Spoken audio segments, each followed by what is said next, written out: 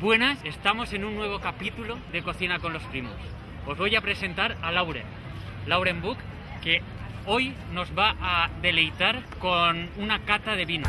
Estamos en el cauce del río Turia, ¿es el río Turia? Río Turia. En el río Turia. Y esta es la décima, la décima no, la 20, la 20 muestra de vinos en Valencia. Vamos a entrar y a ver si os, os introducimos en el mundo de la cata, ¿no? Exacto, haremos una pequeña introducción para que nos sintamos por lo menos a gusto dentro de este mundo. Vamos, Perfecto, pues. pues vámonos. Yo lo que tengo A ver, a ver, ¿qué pasa ahí? ¿Qué pasa ahí? Sí, mira, que para beber el vino hay que meterlo en un recipiente. Entonces, este es el recipiente, ¿vale? Ah, ¿las llevas tú preparadas? Nuestro propio recipiente. Sí, sí, sí, sí. Y así no tenemos que estar pendientes de los demás.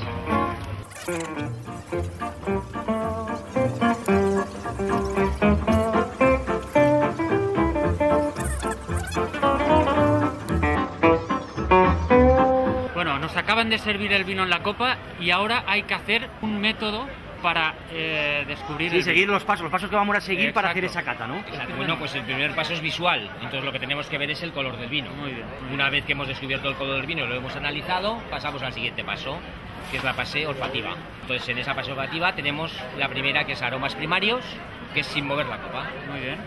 Después pasamos a los aromas secundarios, que es haciendo un giro del vino en la copa.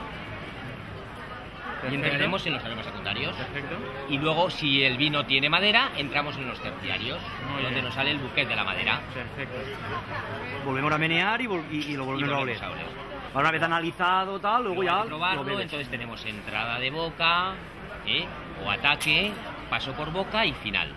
Muy Y de bien. esas tres posiciones vamos a saber el vino cómo Vale. es lo Pues, pues luego pasaremos al primer paso que será ver el color y os explicaremos más o menos eh, qué variedades podemos encontrar dentro del color, ¿vale? Nos vemos.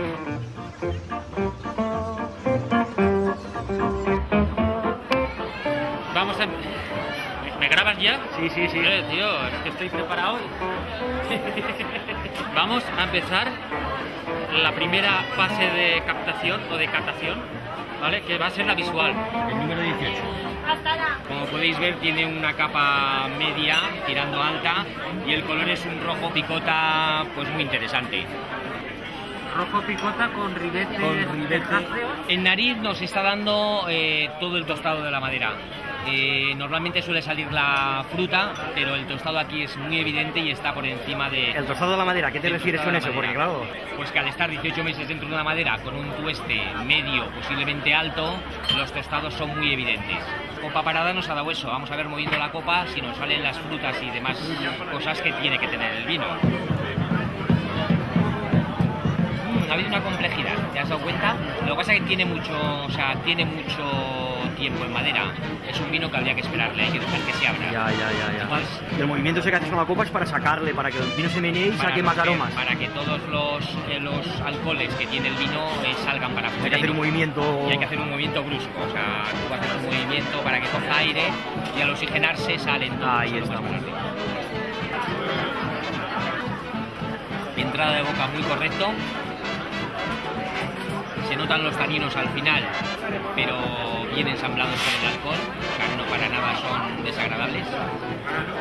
Eh, como veis, eh, muy alcohólicos ambos, ¿Y eso lo vemos dónde? lo vemos en la lágrima. La lágrima que Ah, es sí, la eh, ¿eh? Que al menearlo se queda como unas Exacto, gotas ahí. Esas lágrimas que se quedan. más gotas, más, más alcohol lleva. Eso es. Eso es la glicerina que se queda adherida al cristal Sí, sí, y nos sí. determina la cantidad de alcohol que tiene un vino. Sí, sí, sí. Contra más lágrima, más gorda y mejor caída, quiere decir que es más alcohólico. Pero el que tenga mucho alcohol no quiere decir que emborracha más. Vale. Eso lo explicaremos más adelante, ¿vale? Cuando ya estemos un poco más borrachos. y diremos que no estamos borrachos. y diremos. Entonces se pueden hacer vinos con una uva solo. Son, como has dicho, mono, Monovarietal monovarietal y luego o mezcla. cupas de varias. Exactamente. Entonces la sira eh, es una de las variedades mejorantes que más se utiliza en el mundo. Pero como mejorante, monovarietales no es fácil hacerla.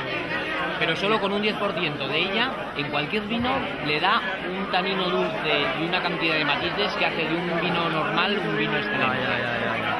Ah, pero claro, hay que saber mezclarlo, hay que saber, ahí está, ahí está el kit, ¿no? Es. Yo digo, taninos que son taninos. El tanino, a ver, el tanino es que es un antioxidante muy importante. Cuando tú haces una maceración muy larga en un vino con el ollejo, le generas mucho tanino. Y como es un antioxidante, hace que el vino se aguante mucho en el tiempo. Si no tuviéramos taninos, se nos Y los taninos se estropearía. notan, se notan en el gusto los taninos. Eso que esa aspereza, Esas- ah. ese es el tanino.